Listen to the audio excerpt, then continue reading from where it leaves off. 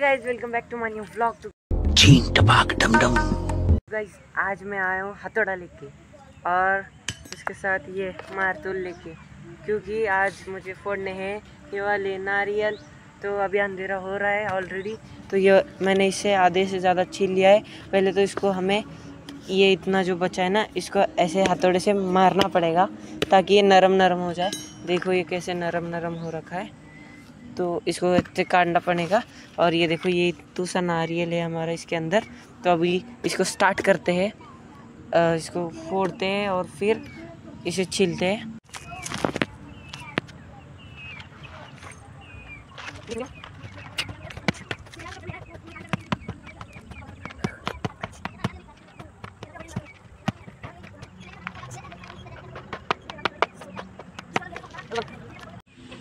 तो गाइज़ आज का ये होगा मेरा थंबनेल साविर भाई बन गया नारियल वाला।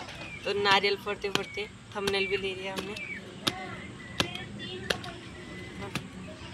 अब देखो इसको कैसे खींच के निकालना पड़ेगा। ये ये निकल गया। इसमें हाथ पूरे ना खराब हो जाते हैं भाई। इसको खींच के निकाल तो लूँगा मैं। ये देखो।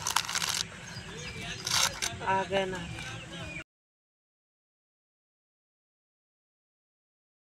बीच में चले गए थे मगरिब की नमाज़ को और अभी आ गया हूँ और अभी देखो, इसमें से पानी निकल रहा हूँ अभी।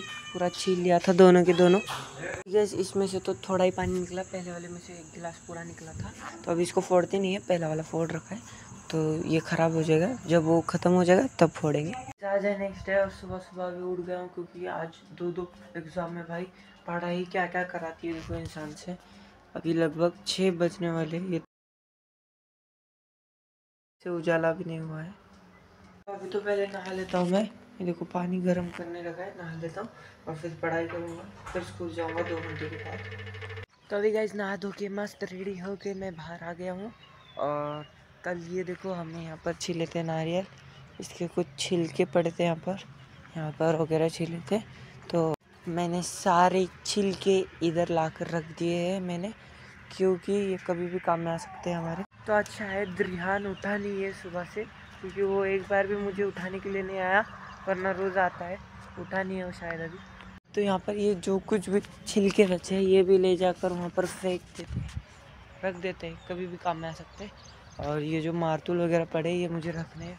फैक्ट्री में ले जाकर वापस से ये भी रख देते। और ना कहेंगे कि लेने को आता है, लेकिन रखने को नहीं आता। कहते तो है ही। अभी सुबह सुबह ही मुझे बोल दिया। वहाँ पर झूले के पास रखे, उठाकर ले जाकर रखा तो अभी इसको अलग अलग जगह है, तीनों भी। तो अलग अलग जगह रखते हैं इनको। तो वीडियो प्रूफ के लिए है कि मैंने यहाँ पर रखा था। ये देखो, ये है मारतूल यहीं पर रखने का आदेश आया था तो यहीं पर रखा इसको नीचे बाकड़े के। उसके बाद ये हथौड़ा है, हथौड़े को इस थैली में रखना है यहाँ पर।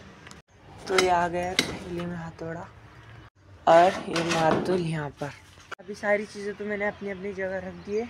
और ये देखो, पेड़ कब पड़ा है, लेकिन अब तक इसको उठाना नहीं हुआ है हमारे से। पूरा पेड़ ही टूट गया। पिछले साल आधा टूट गया था, और इस साल और उसमें से भी आधा टूट गया है। तो अभी कुछ रहा ही नहीं वो पेड़ अभी सिर्फ़ उसका ऐसा लंबी लकड़ी रह जाएगी, क्या करे उससे।